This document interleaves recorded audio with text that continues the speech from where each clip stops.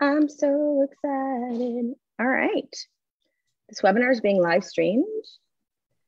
It is 6.01 and we are so excited to be here.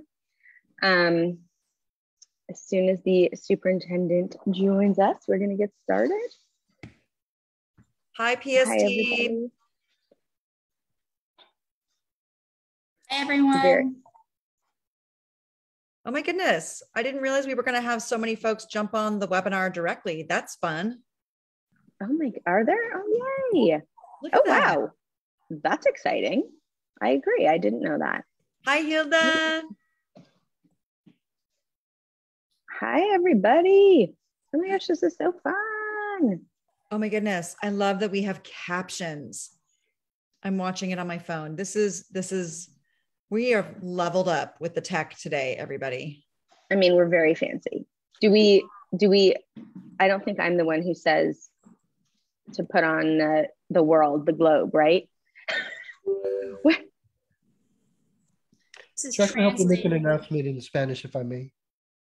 Please. Sure. Buenas tardes, buenas tardes. Las personas que necesiten escuchar en español, en la parte baja de su pantalla hay un símbolo del mundo en donde pueden hacer clic y seleccionar el idioma en español. Si están usando un celular, también en la parte baja va a ver la palabra more, más o tres puntos seguidos en donde también pueden seleccionar el idioma en español. Thank you.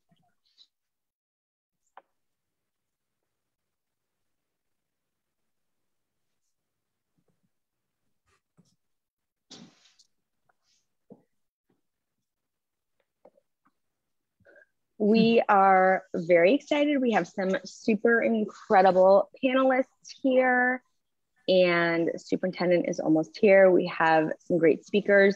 Um, you know what I'm going to actually do right now is I'm going to.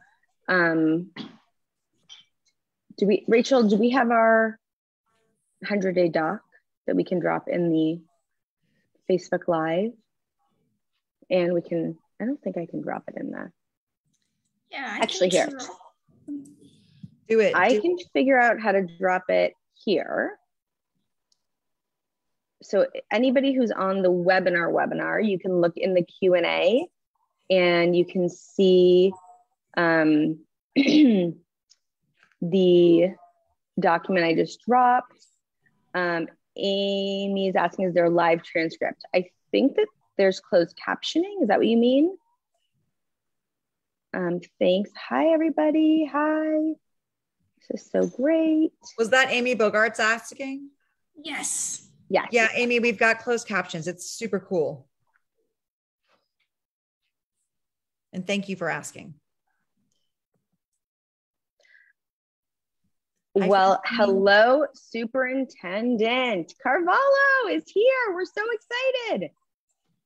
Hello.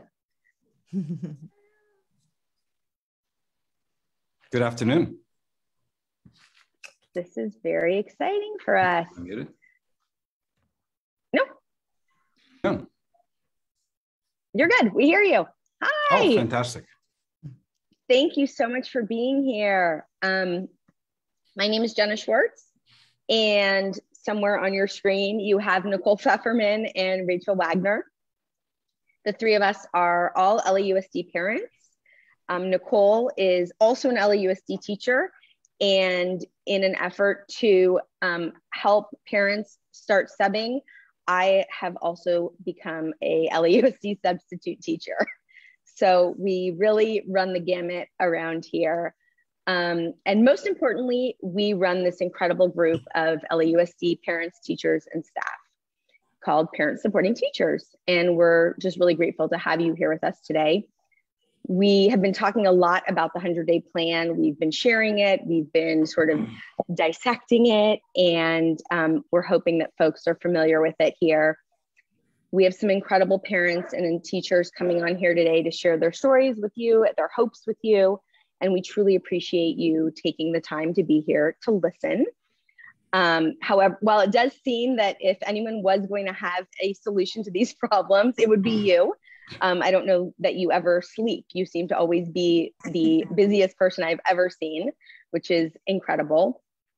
Um, and we do look forward to hearing feedback from you after our meeting. And we dedicated some time at the end of the meeting to get feedback from you as well.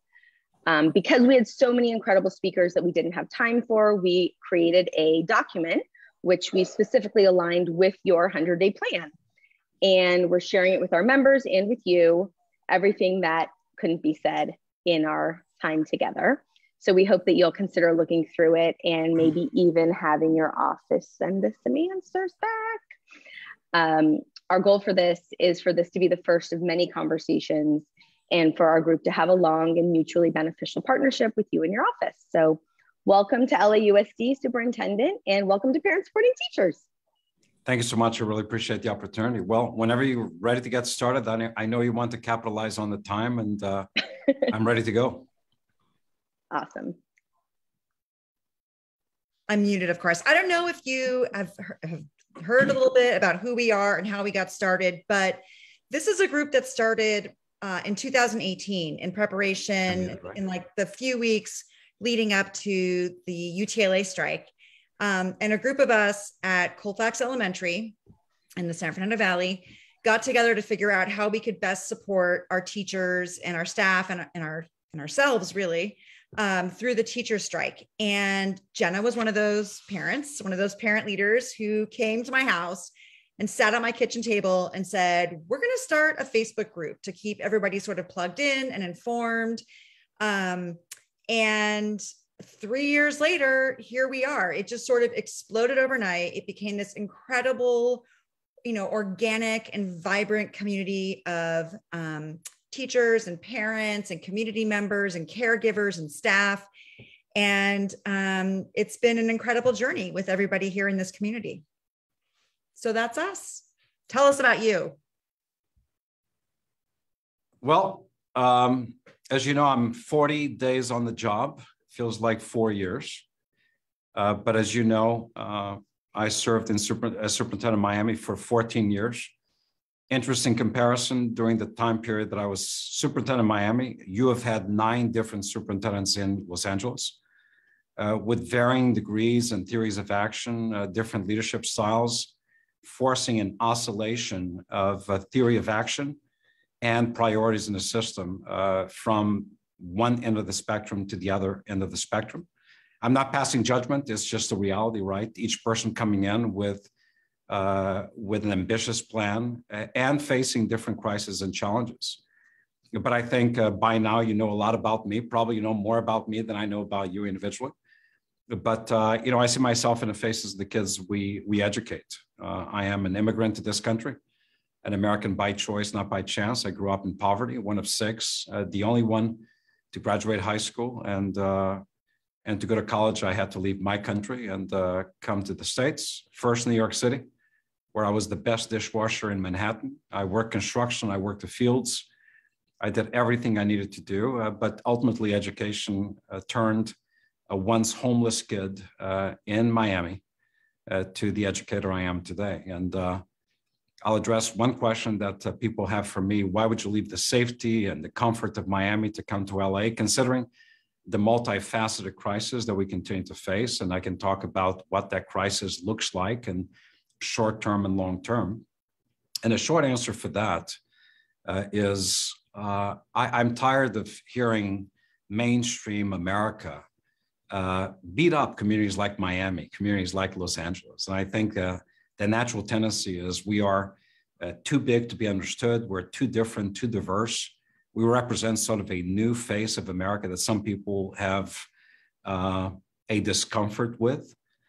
And uh, I want to elevate uh, LAUSD uh, to the premier spot of urban education in America. Um, is it going to be difficult? Yes. Is it impossible? No. Is it likely? Yes. Is it inevitable? I believe it is. Uh, but uh, I'm not going to be able to do it alone. It's going to take a lot of voices, a lot of work, a lot of strategy, a lot of support, and a lot of discussions. And what I can promise you is this uh, I've never met anyone who I love deeply that I didn't disagree with at some point. I've been married for a long time. Trust me, there are disagreements. I have a 30 year old daughter, love her to pieces. I disagree with her quite often. But at the end of the day, we always can carve out common ground, right, around the space that's most important. And that's what I hope to carve out here in LA is enough safe space for us to agree on the really important issues. And uh, so far, 40 days in, I have not seen anything. I have not met with anyone, despite some of the tensions and conversations I've been faced with. Uh, that tells me that it is not possible. It is possible. So I am thrilled to be superintendent. I'm thrilled that there are powerful voices in our community. And I am uh, really anxious uh, to continue this work. And uh, if you if you would allow me, I'd like to just take a few minutes to really cover, uh, you know, a, topic that you were discussing, which is the 100-day plan. I think uh, you and I know that it is a plan that's based on not core beliefs that I brought to LA, core beliefs that you believe in, uh, that we believe in as educators, as as parents, as supporters of public education. Obviously, equity is the lens through which we uh, approach every bit of this work. It is work and a promise and a theory of action based on empowerment, empowerment of student voice, of parents, of the workforce itself. And obviously, it is a plan that is centered on a core belief of excellence, you know, sort of the North Star uh, toward which we angle every bit of this, uh, of this work. Now, if we know what the core beliefs are, uh, then there are four key actions that we will embrace uh, as part of this plan. We don't start uh, from ground zero. The board has established already specific goals. In 2021, the board adopted goals specific to literacy proficiency, numeracy proficiency, specific to post-secondary success and post-secondary placement, uh, but also specific to the systems of social emotional support they need to be in place uh, in an effective, universal, ubiquitous, accessible way, both for our students, but more and more, as we recognize, for our employees as well. For a long period of time, we thought that kids lived through trauma and emanated and emerged out of the COVID pandemic uh, with a degree of trauma that needed to be addressed. It took us a while to recognize uh, that uh, the workforce, particularly teachers, experienced uh, trauma and lived through trauma as a result of the social isolation as well. Uh, we will tackle that. It is with that in mind that uh, these four sequential steps are unfolding. The first one is exactly what I'm doing right now. So I am in a period of learning. Unfortunately, I cannot learn and then apply. This is sort of building the bicycle as I'm riding it. I need to learn and put into practice some of the immediate uh, crisis level emergencies uh, wrapped around urgency that cannot wait. So engaging with, with parents, with students, with business partners, with parent advocates, uh, with entities in our community that I need to learn from, to listen to, to understand perspective and perception. Sometimes perspective and perception may be different, but I cannot ignore either. Secondly, uh, once we are done with our engagement as far as listening, and by the way, that will be ongoing, we really need to huddle internally and assess. And this is a district that's actually quite data rich. We know exactly uh, by disaggregating the data how English language learners are doing, how students in poverty are learning, homeless students, kids in foster care, how students in various zip codes in our community are learning. So disaggregating the data, analyzing it, doing a deep dive, and understanding the trends of enrollment, the trends of learning, the trends of achievement, the, te- the trends of attendance, which was accurately reported today in the LA Times, is what we will do uh, during the assessment uh, period of time. It is uh, during that period of time that we will actually acknowledge the challenges, but also begin to identify the opportunity short term as well as long term. And then we have a responsibility of providing feedback back to the community, right? We listened to the community to begin with, we assessed where we are. Now let us report back to the community to promote responsiveness and actually engage the community in being part of the solution. This is work that's not going to be done in a vacuum. It's not going to be done in separation from the community voice. It's going to be done in conjunction with the community voice, with the community activism and the support. And then last but not least is actually an exciting part of the, of the step uh, at this plan, which is those deliverables, those immediate actions that can be leveraged within the first 100 days. Some of them will be actual products, material products, initiatives. Others will be plans to be implemented in weeks, months, and years uh, to come. So it is then in mind that we actually move forward. And some examples of immediate and, and uh, planned actions short term are uh, well known to you, I believe. You know, we are a massive school system with great intentionality, remarkable availability of funding. However, in the middle of that job market crunch, uh, what that means is that there are open positions in schools that uh, were not staffed yet. I have a solution for that, for there are enough certified individuals that can actually populate positions in schools. In dire need, recognizing the social emotional needs of our students, of hiring psychiatric social workers. But look, the plan was flawed to begin with, with the best of intentions. A plan that recognized the opportunity to hire over 900 psychiatric social workers when the entire state of California and Texas together do not graduate 400 per year. Uh, so it is a challenge to begin with. I think it's important to develop uh, a coherent state advocacy strategy, as well as a federal advocacy strategy. Right now, there's a massive uh, investment from the state and federal level. All of that will go away in two years. What is our strategy to avoid a fiscal cliff that could lead uh, to compromising positions and programs? We cannot accept that. Launching a parent academy uh, to empower parents with the, the tools, the skill sets to navigate this massive system knowing how to ask the right questions to better support their students, creating an echo of learning at home. I know, understand, and believe in the Black Student Achievement Plan. It needs to be better resourced and more strategically resourced than what I know it to be right now. Increasing inclusion opportunities for students with disabilities. Better said than what I see in practice, and that needs to change. Increase also achievement of English language learners improving the quality of food that our kids eat, greening our school spaces, and obviously addressing the mental well-being of our students and a workforce. A detailed list of all these deliverables are actually reflected in the actual plan. So it is with that in mind that, uh, that the next steps become quite evident. Uh, and here I am. I am listening to the voices of the community. Uh, we will be streamlining processes to really approaching the conversation always identifying the main thing, the main question, the main issue, developing major focus of areas and key strategies to tackle these intractable, seemingly intractable issues.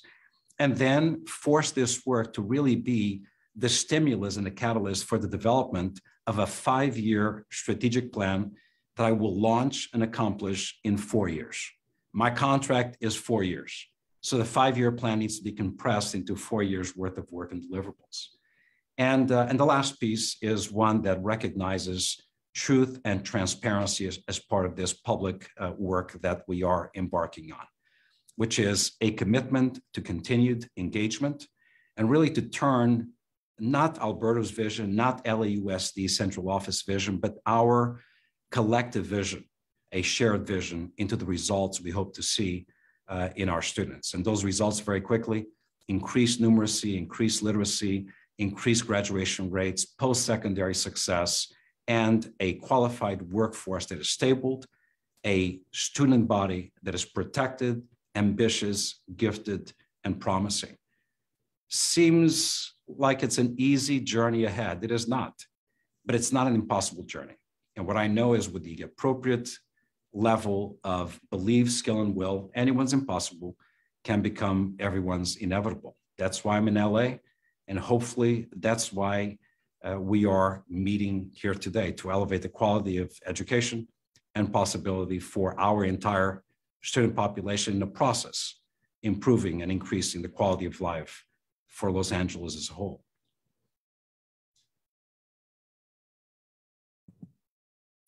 Thank, Thank you, so, you much. so, much.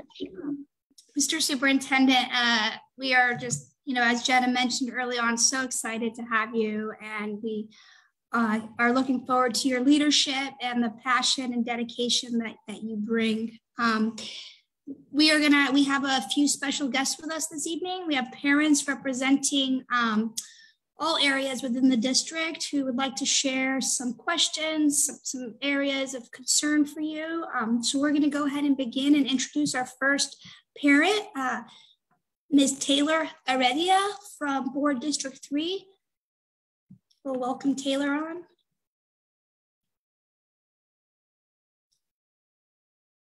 Taylor. Um, it says that I cannot start video because the host has disabled it. So just wondered if there's something else I can do. It's superintendent, you have to understand that part of our charm is that tech woes follow us everywhere. So Hi. here is Taylor. Hi. Thank you so much for Hi. having me. Um, thank you so much for being here. Um, it sounds like a lot of what you're talking about is along the lines of what I'm going to ask about. So I appreciate that. I'm a mom to three kids, and I have a third grader, seventh grader, and a 10th grader. I'm very proud of them, and we have been very grateful to be a part of LAUSD. One of the many important areas of concern that has been present in my 11 years as a parent with the district, but is heightened now in the last couple years, is the inconsistent and minimal mental health awareness and supports. Over the years, my oldest daughter has witnessed students as well as teachers in mental health crises on campus. Although this is not unique to her, what stands out is that she nor any of her friends have any consistent knowledge about who or what's available to them. The occasional workshop to teach parents about mental health awareness is very wonderful, but then what after that? A post on Schoology from the counselor with an email contact requires students to have self-initiation, confidence, or resources that many just don't have. Students need consistent mental health education and supports during the school day as obvious as the curriculum, starting in elementary and not just waiting until crisis mode later on. How we cope, how we learn to cope as a child impacts our abilities as we grow, which is a lot of what you were saying earlier. Uh, we regularly see the district starting programs or trainings that have a lack of follow through. Are there any plans to partner with LA County and or service providers to address this? And what can the district do to implement consistent, meaningful, obvious, and available mental health supports for students and staff? Thank you so much. Uh, thank you so much, Taylor. So very quickly, it's yes, yes, and yes. So we should be smart enough and honest enough that we cannot do it alone, number one. Two, there are powerful community resources that need to be engaged in a collaborative way so that the value add of what we individual bring to the table becomes a force multiplier. I think this district did immense great work in terms of testing, vaccination, all the protocols. Quite frankly, in a way that in many other areas across the country belong to the county. School districts themselves didn't do contact tracing. That's something that usually county health entities do. So is there the possibility and the urgency to collaborate? Absolutely. Secondly, you hit on the point that is so true.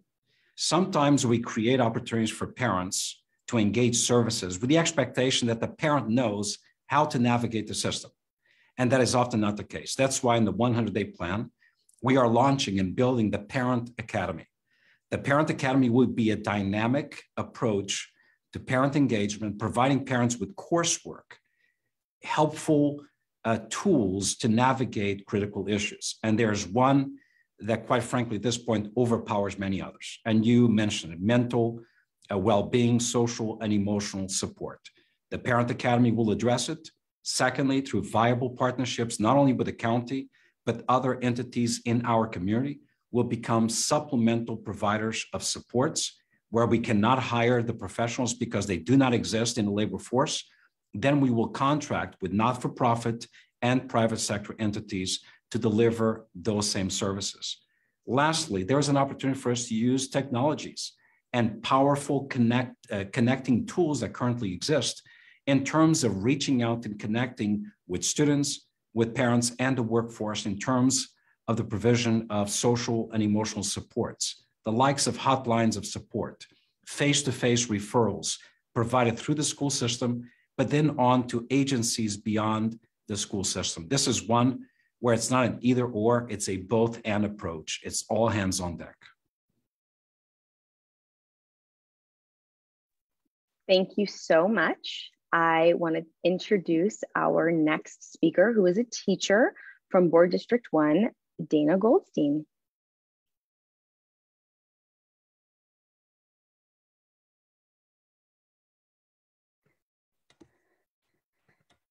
Good evening, Superintendent Carvalho. I am Dana Goldstein. I'm a teacher at Pio Pico Middle School, and I've been a part of this amazing community for 26 years. In January, we were shocked and devastated when we were told that the district would be dissolving our school and moving another school onto our campus. This was the first we had heard of this, and the community was not involved in the discussions surrounding this community school closure. While we understand that we are in a period of declining enrollment, removing neighborhood schools from families that depend on them only impacts communities negatively.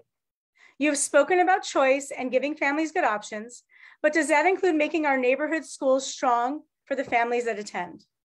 Neighborhood schools are at the heart of their communities and should be always be available as a family's choice. You just spoke about a plan that spoke about truth, transparency, and communication. None of that has happened at Pio Pico. There's been no truth, no transparency, and no communication. Also, we'd like to know if you can please schedule a meeting with the staff, parents, and students at Pio Pico so we can discuss, discuss our concerns with you. Thank you.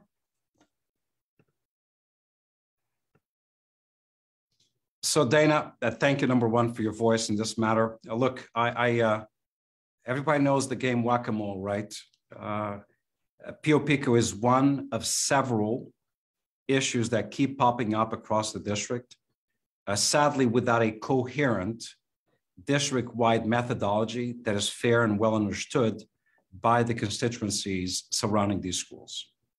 So I'm dealing with uh, Pio Pico, I'm dealing with a Westchester Wright Middle School issue. Uh, I'm dealing with Trinity. So there are a number, and the more I scratch, the more I find, right? So I've asked staff to actually do a radius of impact specific to uh, entities like Pio Pico for me to have a universal understanding so that when I, Dana, make a decision and bring a recommendation to the board, one that will be informed not only by the voices of the board or principals or local district staff, but also through the stakeholders of the communities. That includes parents and teachers, yes, is one that will not be dissimilar from future decisions uh, that speak to similar issues facing Pio Pico. I think one of the greatest vulnerabilities is when we make a decision in one school, but then we don't follow the same theory of action in another school facing similar circumstances. That is why I'm taking some degree of time to really understand this issue because it is consequential. Um, I think I am very close to being ready to engage in a larger contextual conversation with the stakeholders now that I've done, I believe, sufficient research. In fact, I have visited some of the sites that are facing some of these circumstances and challenges, and I will continue to do so and count on me to be an attentive listener uh, before making decisions that are no doubt consequential uh, to the communities. I cannot defend, last thing, Dana, I cannot defend or judge, right, the course of action or interactions that took place prior to me arriving.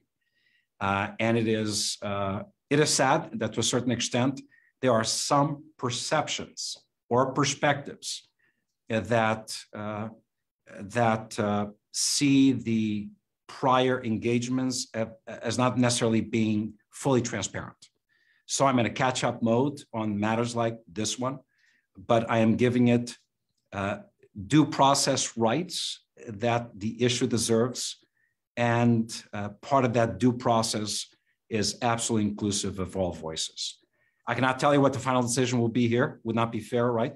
But I am embracing a process that will not exclude your voice.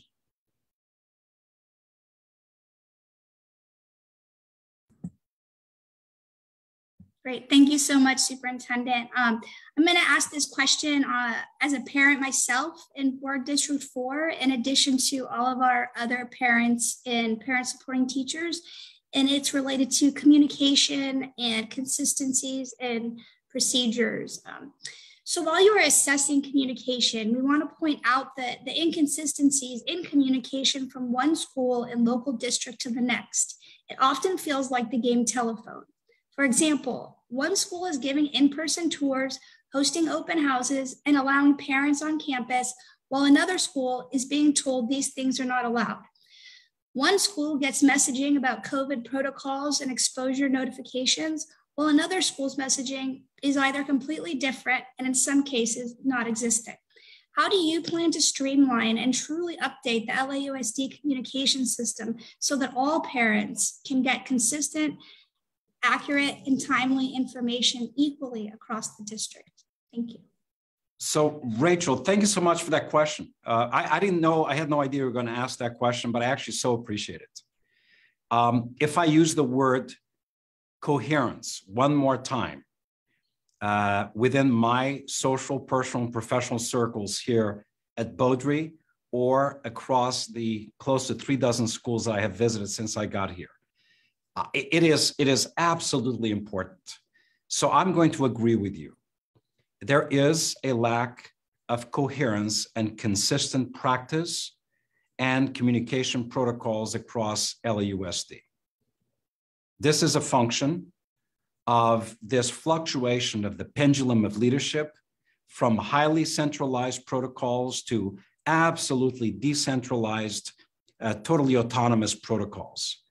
That may be convenient for the professionals may, may not necessarily be understood by the stakeholders, the consumers of the end product, right? The end user, the student, the parent. So count on me. And this is part of the 100 day plan.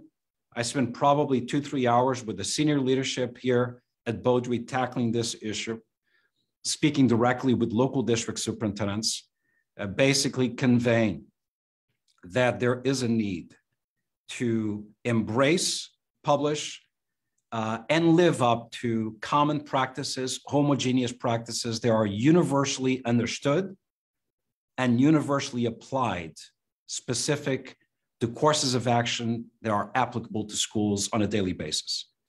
And that is athletic activities, extracurricular activities, the presence of individuals in schools, the participation of not for profit and community groups in schools, access to schools, the availability of after school programming, but it's beyond that. It's also common progress monitoring tools that considering the mobility rate in, in Los Angeles, a parent should not have to go back to school to understand how to decode the new school once they move. And the fact that one school may fall within one local district, a block away from another one, we're talking about two different worlds in the curriculum we use, the progress monitoring tools we use, and how we communicate to the parents. So you hit the nail on the head. We need great coherence. We spent hours today addressing that. I promise you that communication protocols, particularly beginning with the most important issues, shall be streamlined and shall be directed in the way that is easy to understand and universally consistent, regardless of the zip code that that school occupies or the residence of that parent. I hope I'm sort of demonstrating that through my social media presence. You know, when I put something out there, I'm not mincing words. You know, it is what I believe in. That's going to be replicated and amplified in every bit of communication, protocols, and practices across LAUSD. Um, yeah, well, we all look forward to that. Um, it's been a challenge, and part of sort of the magic of parents supporting teachers is that we've we've sort of functioned as a translator of of the district for families, um, and so we're thrilled to hear that that um, there's going to be a shift in communications. Um, so I am very um, proud to introduce a parent from Board District Four, Debbie Maloney.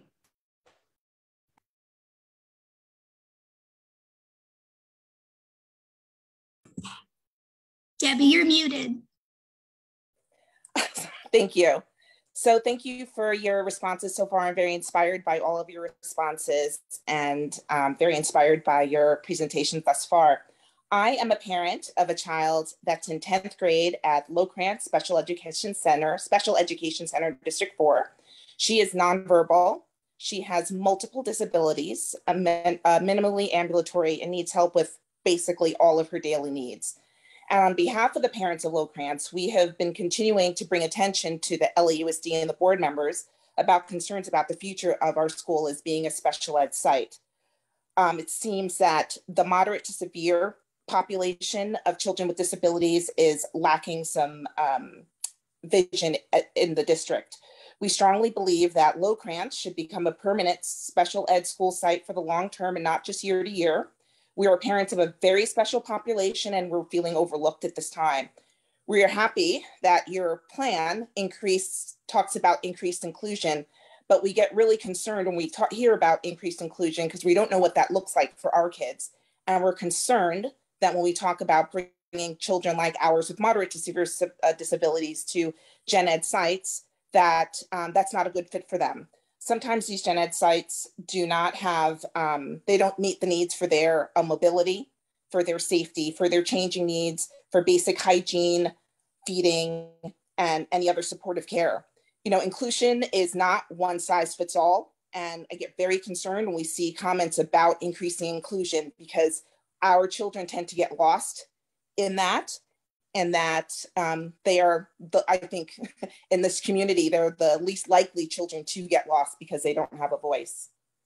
So what my I guess my question is what are plans for sites like Lokrantz considering your commitment to increased inclusion? Yeah so so debbie number one thanks so much for so eloquently laying out uh, the protective uh, perspective that a parent would have for any child, but particularly a child with disabilities, right? So I want to be very clear about one thing. I am a huge proponent of inclusion, but I'm also a huge proponent of following the law and above the law, following what's in the best interest of children. Inclusion simply means the least restrictive environment for children. But that same law also speaks, Debbie, to the appropriate environment for children. There are instances where for some children, the most appropriate environment is one that, quite frankly, is an environment that may not necessarily be, as you, as you termed, a gen ed population.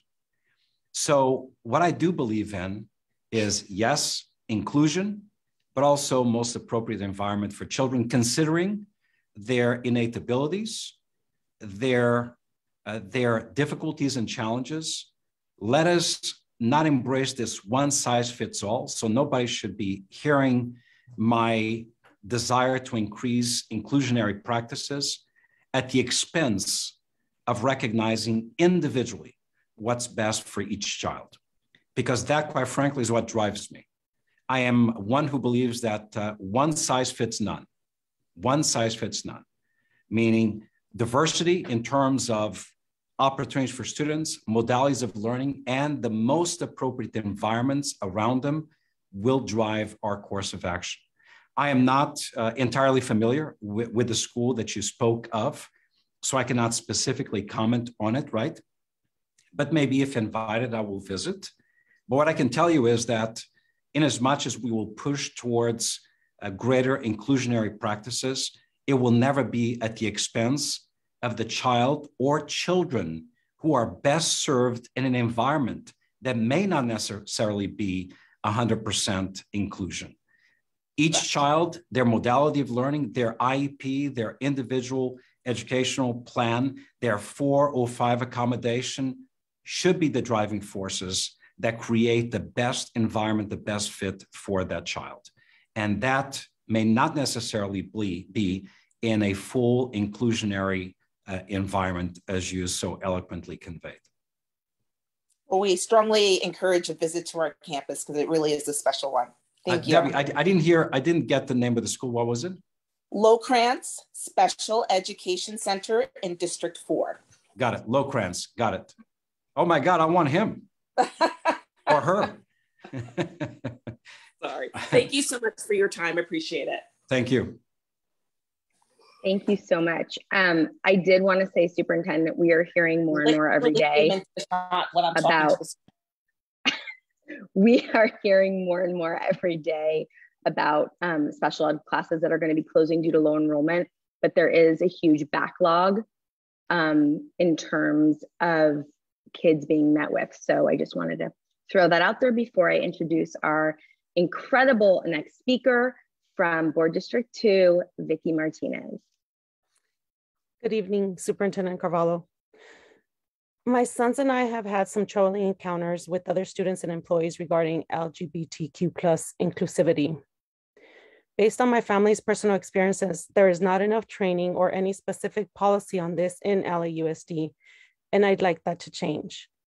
My youngest is in third grade at Aldama and has shoulder length hair and is obsessed with dolls rather than cars or trucks. We encourage him to play and wear what makes him happy.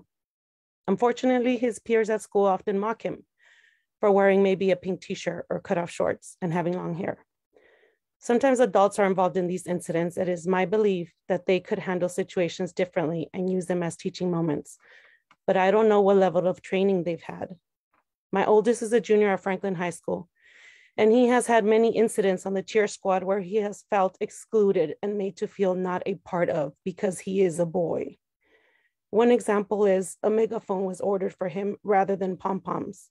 He was never asked which he preferred. I've met with the principal to address concerns then and now, and it doesn't seem as though there is much time or effort put into creating a more inclusive environment for him or any other young man for that matter. This is disheartening to me as I want my children to feel welcome and accepted for who they are. I know these concerns don't apply just to us. I'm sure there are other students across the district that are not being included or considered, and maybe no one is there to be their ally. My third grader can teach some staff about being gender neutral and accepting. My oldest wouldn't speak up for fear of retaliation, which also makes me sad. Students should not have to fear discrimination or retaliation for speaking up about what they like or don't, or who they are. School should be safe space for all, and all students should be able to participate in any school-related sports, groups, clubs, and activities equally what policies are currently in place for training and resources for adults across the district to better support our LGBTQ plus students and families? And with the understanding that this isn't happening, will you make sure that we have such policies? So Vicky, th thank you so much again for, my God, this group is tackling issues that are so, so important, so relevant, so personally touching uh, to each one of you, right? So I, am one who believes in in in, in uh, intellectually and emotionally uh, opening myself when I hear people bringing compelling stories. Right. So understand one thing: there are many reasons as to why I am in LA and not Miami, which happens to be in Florida, a different place in an almost different country. Um, I did battle with the governor of the state of Florida on a regular basis. Uh, on issues like this one because of the policies that I adopted uh, in my former district that were absolutely dissonant from the policies that the state adopted and continues to adopt, like Don't Say Gay Bill in Florida. Uh, when the governor is legislating on transgender, against transgender students and facilities in schools, I objected. And I could continue to create safe places, places for students in school.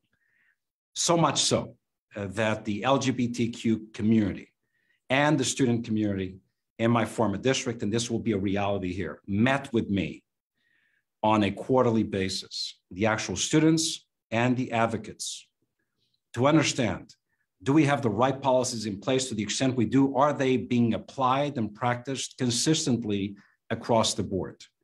What else can we do in terms of sensitivity training to avoid bullying practices on the part of students, sometimes out of ignorance, or sometimes even conditioning the attitudes and perspectives of parents.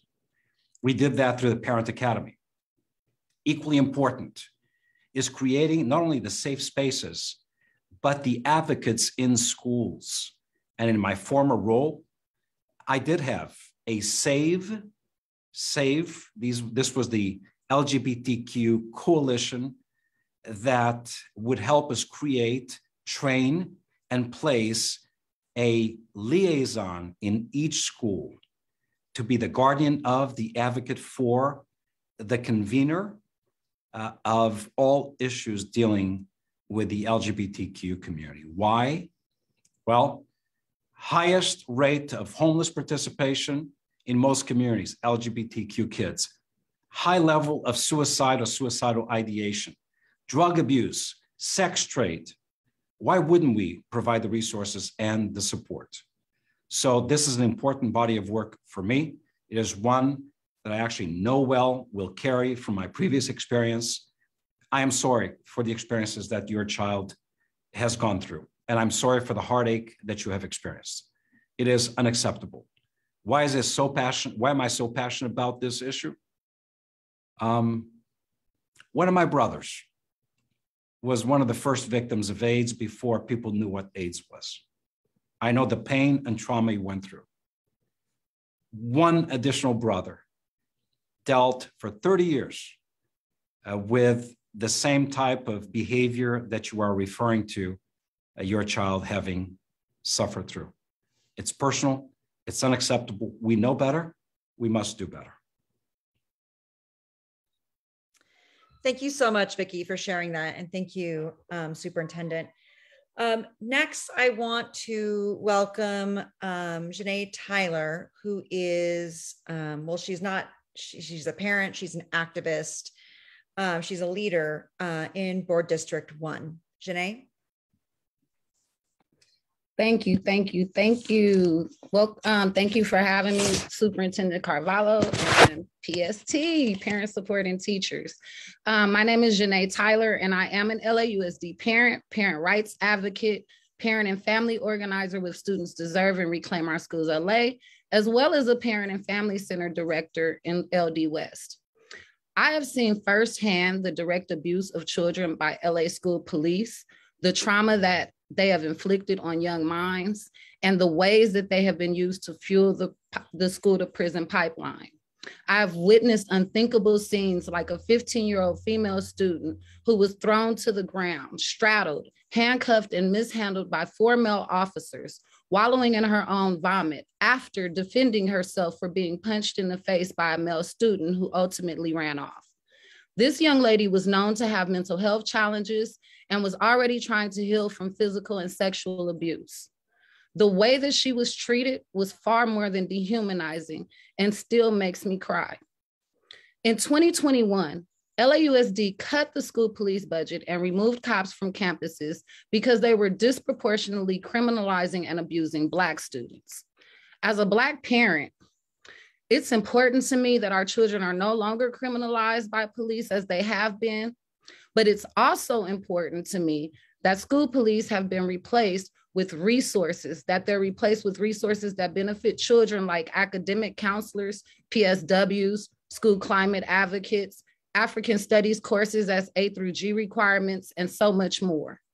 Since the implementation of some of the key supports that came with the Black Student Achievement Plan in August, especially the removal of school police from our campuses, although not yet in its perfectly imagined form, we have already seen a significant shift in school climates, especially in the secondary levels. Students are sharing that they experience more joy, less fear, and are more focused on learning. So my question, Superintendent Carvalho, is will you commit to fully defunding school police and using that money to further expand the Black Student Achievement Plan so that even more of our children are served by PSWs, academic counselors, college counselors, restorative practices, transformative learning experiences, and again, so much more instead of our children being over policed and criminalized, sir? Well, Janae, uh, number one, it's good to see you again. I this I think this is the second time I see you in uh, in just as many days. Yes. um, and and my answer now is going to be probably the same that you heard me uh, say before. Number one, I am abhorred. I am absolutely devastated by some of the very visible, disturbing, unacceptable behaviors that we've seen detailed, whether it's in school or outside of school by rogue law enforcement entities uh, that, uh, that are unacceptable in any way, shape, or form. Secondly, I am absolutely supportive of all of the interventions you spoke of, whether we're talking about restorative justice practices, counselors, social emotional support entities. We're talking about, uh, you know, individuals who have the professional training to meet students where they are, being preventive uh, in their work rather than remediative uh, in their actions in a way that's not punitive to students actually elevates the worth, the humanity, the dignity of students. I am absolutely supportive of that. The board has already opined budget decisions uh, about a year ago uh, on the police issue. I believe there may be some additional board action I'm one who is all about and wants to support secure, safe, respectful, respectful school environments. And that's what I will promote. Uh, as I said earlier, on the issue specifically of the police, it is a complex issue. I have my own thoughts about it, as I told you earlier in the week. I'm not at liberty right now of going beyond where I'm at because I'm still having conversations with the board members, uh, with a number of stakeholders. I know it's a big issue, it's an important issue. One that at some point I will be taking action on. But I subscribe, I stand shoulder to shoulder, heart to heart, hand to hand with you on all these issues that schools should be and the inputs and the investments that envision the possibility rather than react to the condition. And I will be personally invested in that. And you will see my first budget recommendation will prioritize those elements. Thank you so much, Superintendent Carvalho. You asked me this though, and I appreciate it. Thank you so much. I'm just like so excited with how everything is going and you've been able to answer, which we weren't expecting. And I just really appreciate it. We have three more speakers and um, I'm thrilled to introduce from Board District 2, Antonieta Garcia.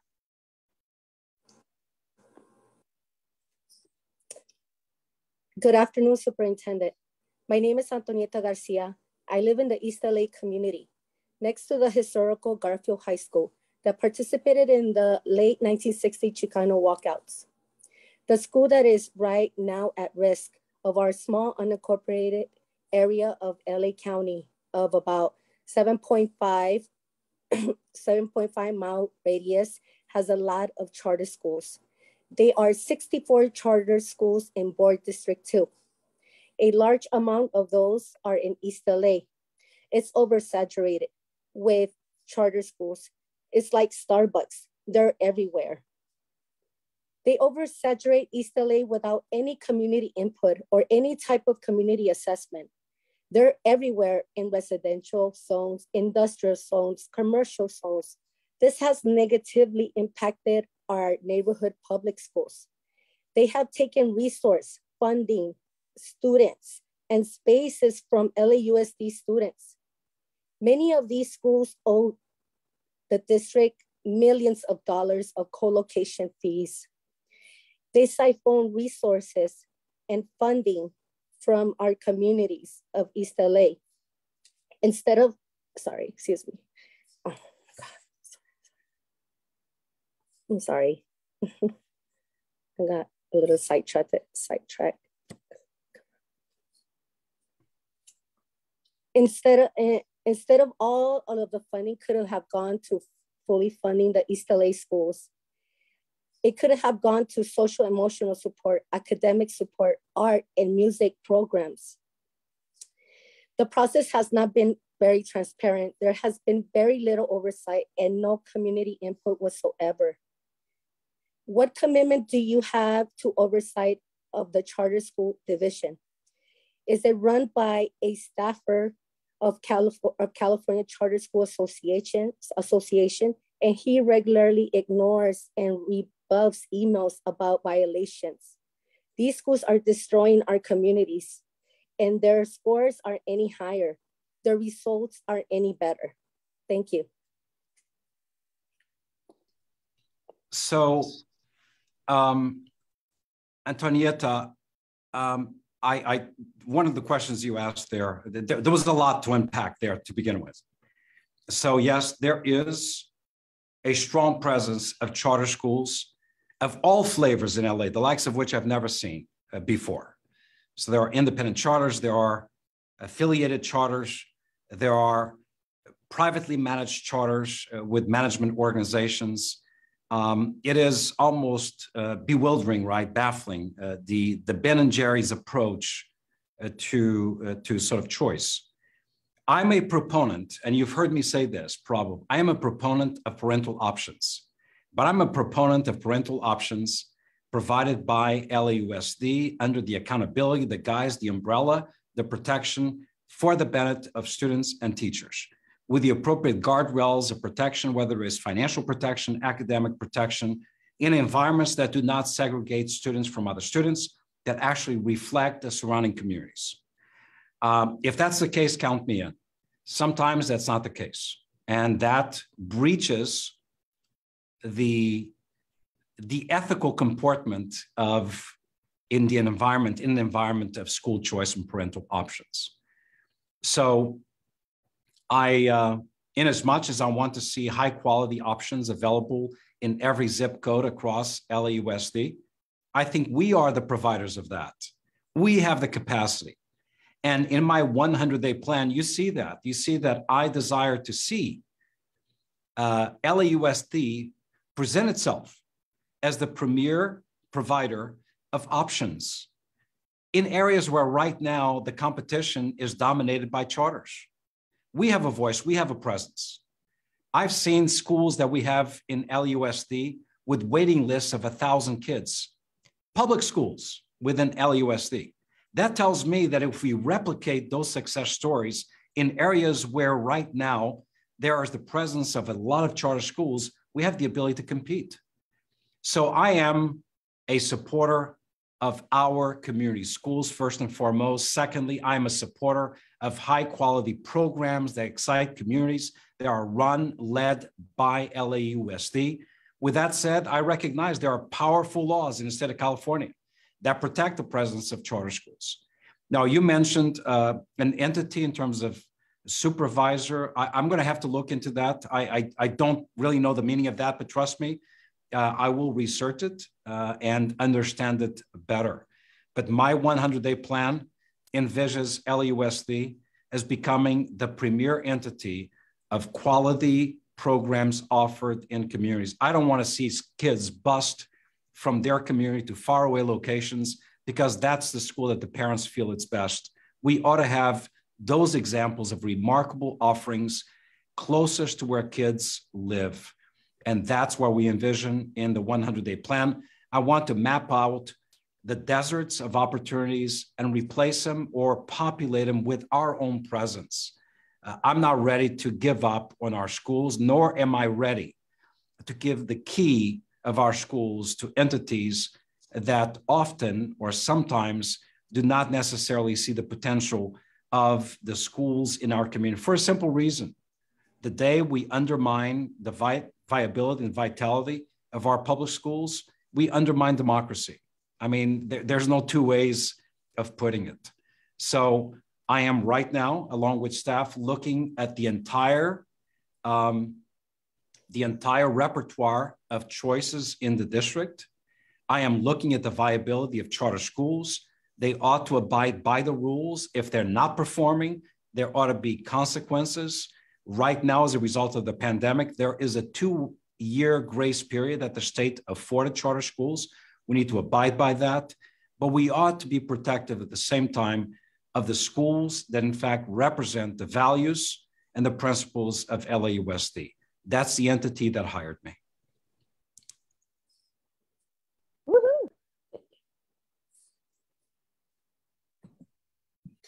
That was amazing. Thank you.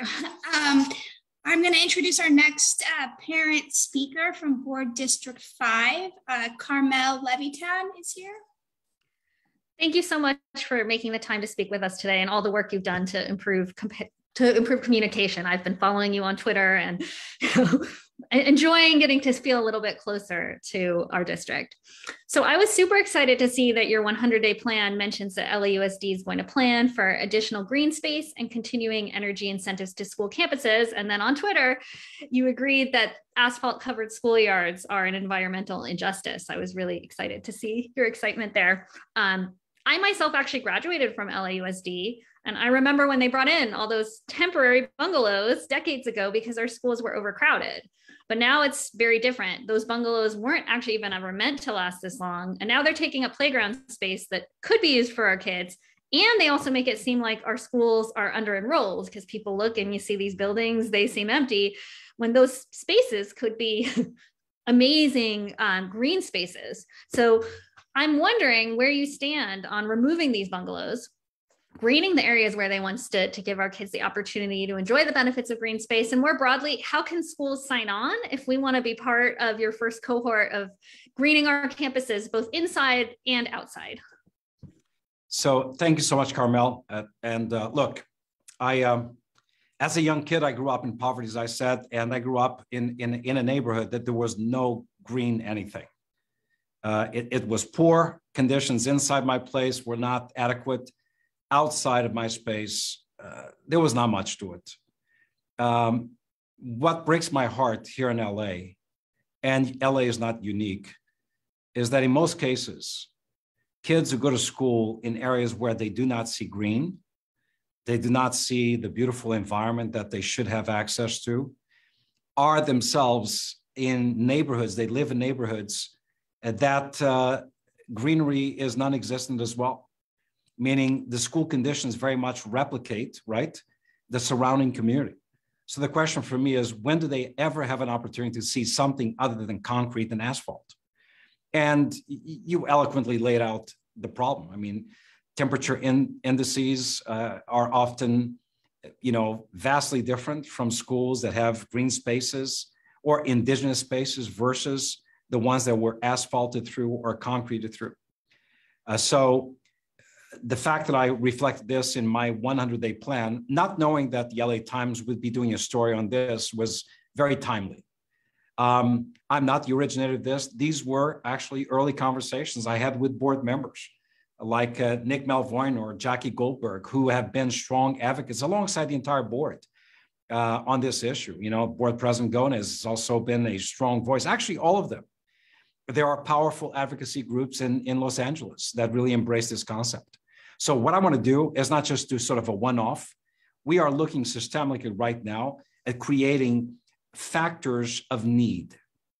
So the square footage, the ratio of green space to non-green space, asphalt in schools, and then juxtapose that to the same um, to the same denominator in the surrounding communities, right?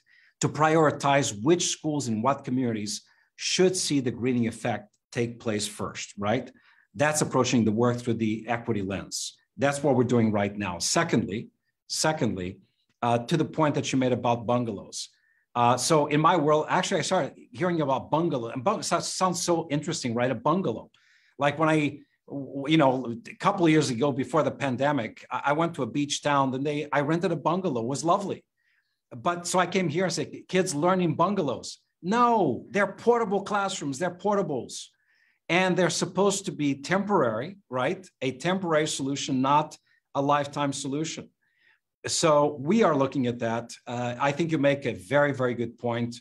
Uh, the square footage that's currently used, permanent as well as temporary, portable or bungalow as they call it here, uh, you put all that together, and in most cases, far exceeds the current enrollment.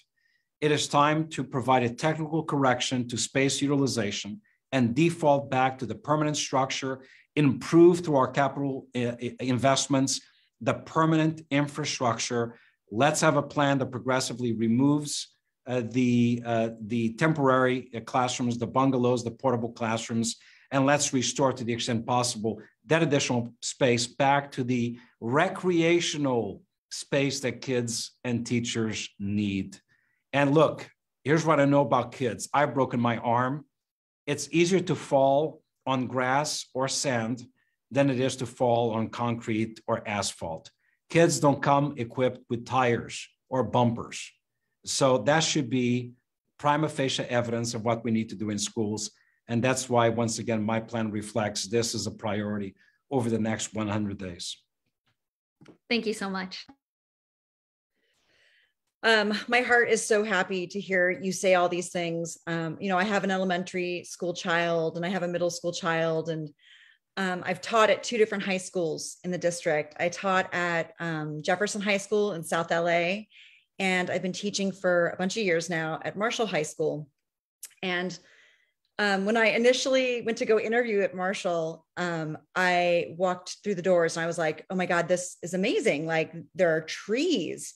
You know, I had spent seven years at Jefferson at a campus that was just concrete and it broke my heart for my students. And I was, I actually spent the first year at Marshall very angry about that, that my students at Marshall got trees and my students at Jefferson did not get trees. Um, and it's been an honor and it's been a pleasure for me to teach in our LAUSD communities for these past 15 years. I'm an LAUSD student myself. I went to Lockhurst Elementary, Hale Middle School, and El Camino Real High School.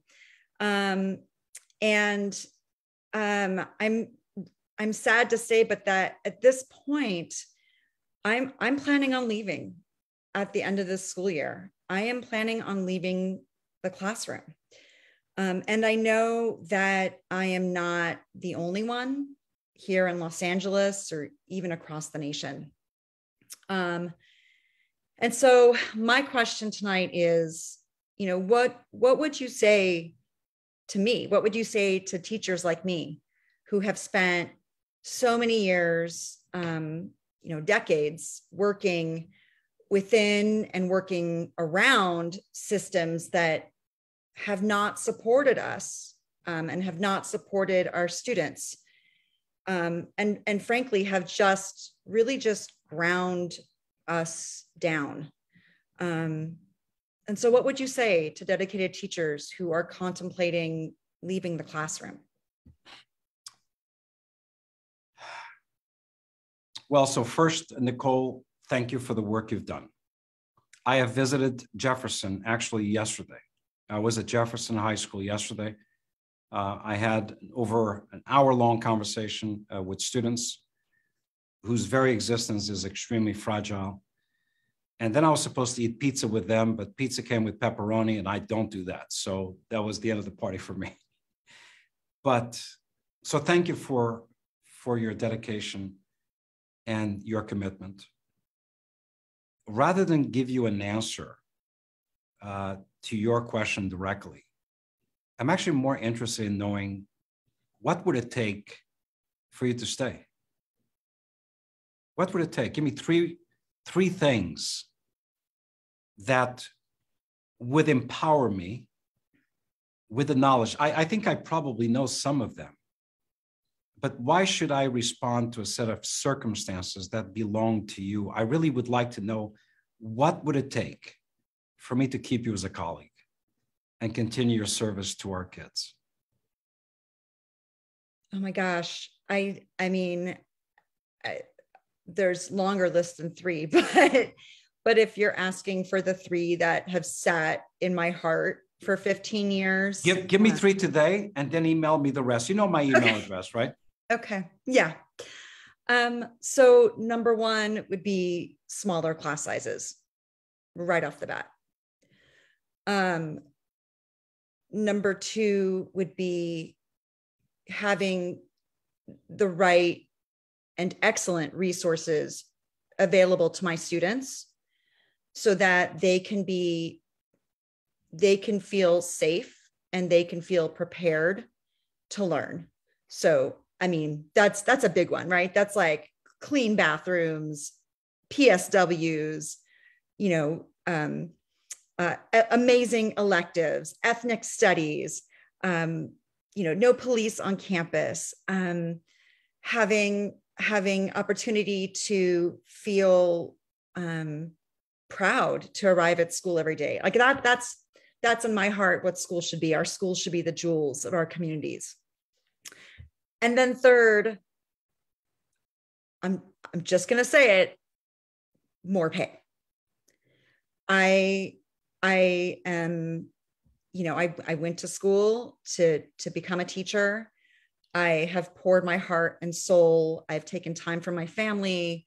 I've driven myself essentially into the ground. And to be frank, like it's expensive to live in LA. It's expensive to be a teacher, right? I've, I find myself pouring my own salary back into my classroom and into my students, buying snacks, buying resources um, art supplies, right? Um, and so, and so I think that those are my, I think my top three.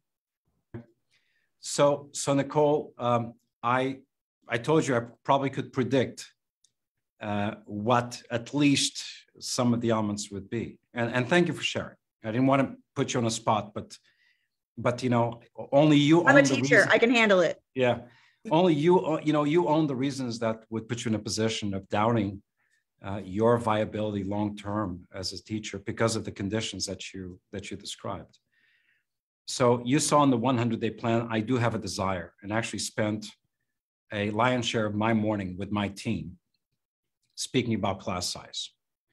I don't think we have the capacity to reduce class size across the board, all schools or classrooms at the same time, but we have to start somewhere. Um, I, I, try not to mention the district I came from, but I was rather effective at reducing class sizes there with specific thresholds that needed to be observed by classroom and then by average by school. Okay. Um, I, I plan to do that here, and I plan to begin the piloting of that practice to the extent practicable and possible uh, in the summer in a vastly expanded summer offering. The second issue that you mentioned deals with workplace conditions, right? The resources, the environment, the culture, the cleanliness, the respect, all of that. Uh, you know, I could lie to you, but I visited a lot of schools, three yesterday. I saw some things that were knockout examples of what it should be. But if I walk into a, a restroom and I don't see soap or paper, I know everything else is broken. So um, I'm one when I see that, it takes direct action, conversations with principals, with the operations person in the school, et cetera. And then I bring that information back. I inform the team. I don't, I would not want my child to be in an environment, whether it is the cafeteria food and its nutritional value, the options, the cleanliness of the restrooms, or the culture in the building. I would not want any one of our children to be in an environment that I would not feel would be appropriate for my own child. I'm going to fight for that. And lastly, you need to do me a favor. Never ever shy away or hesitate saying that pay is important. Um, all teachers get at least a bachelor's degree. The bachelor's across the board cost the same amount of money, whether you're going to be an attorney, a doctor, or a teacher. If you then pursue a master's, depending on the school, but a master's at Harvard or at USC, about the same.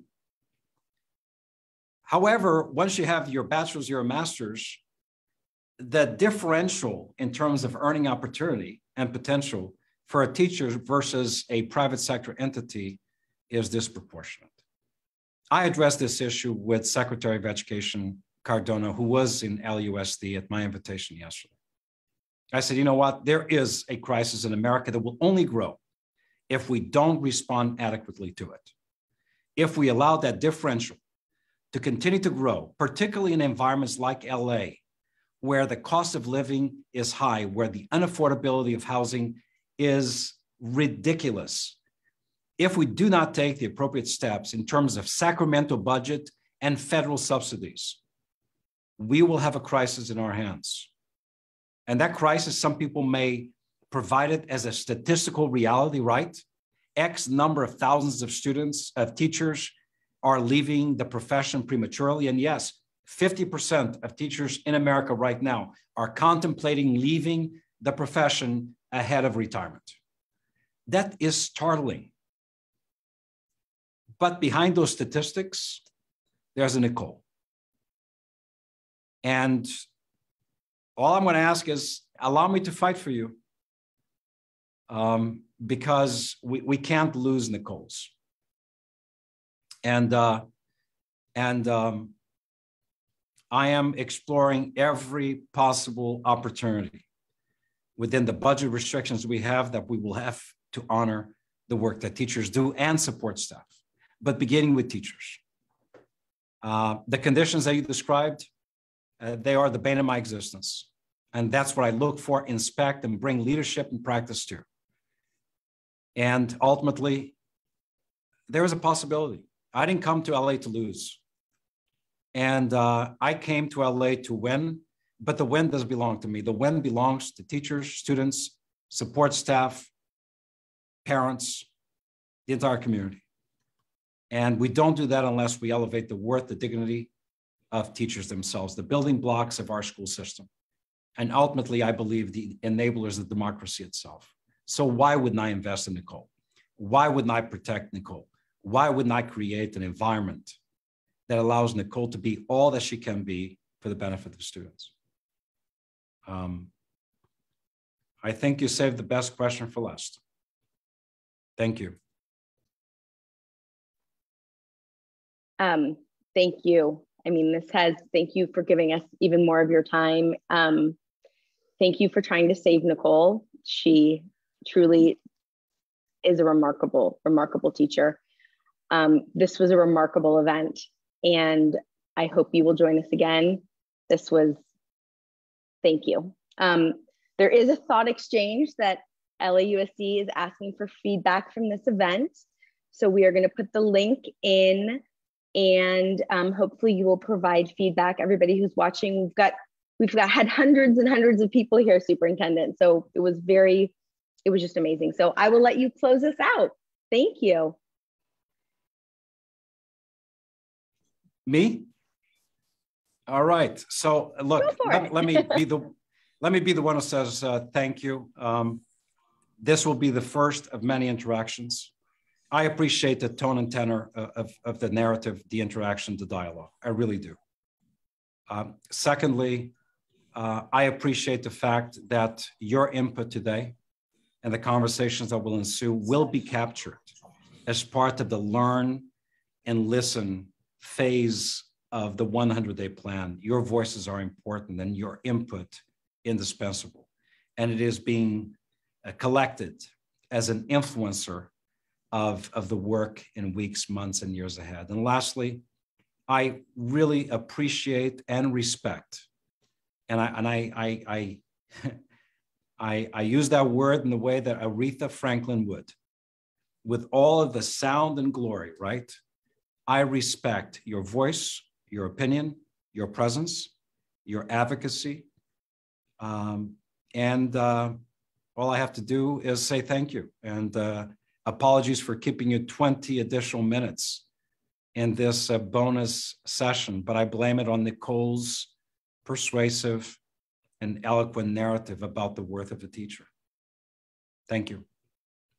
Thank you. Good Thank night, you so everybody. Much. Good night, so everyone. Much. Thank, Thank you, everyone. Thank you. Thank you. This was wonderful. Thank you so much. Thank, Thank you. you. Thank you. Thank you. Thank you. And then Sarah, you will stop the live stream. We'll post this to our YouTube.